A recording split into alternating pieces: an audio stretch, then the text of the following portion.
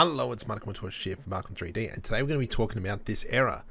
Uh, light map UV are overlapped by X amount. Please adjust, enable error coloring to visualize.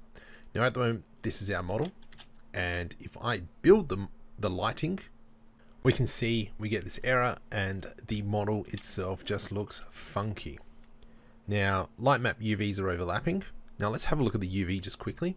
So I'm here in Blender. I'm just going to select all and we can see that these pieces are sitting on top of each other. Fair enough. This issue is predominantly fixed in Unreal Engine 4.22, I think. But if we open up our model, and I come up here and select the first UV channel, we can see that's what the UV channel we are looking at before. The second UV channel, or UV channel 1, has everything broken up. If we come now down into our general settings expand the general settings, light map coordinate index, we change this to 1 and save. Now when we come back into here and build, let's have a look. We can now see our mesh is fine and we no longer have an error.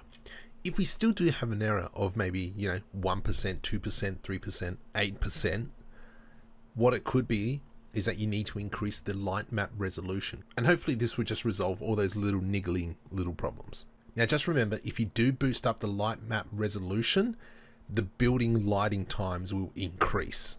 If this short tutorial has helped you out, please make sure you like the video, subscribe to the channel to keep up to date with any other videos, and also just let me know in the comments below that it's helped you out.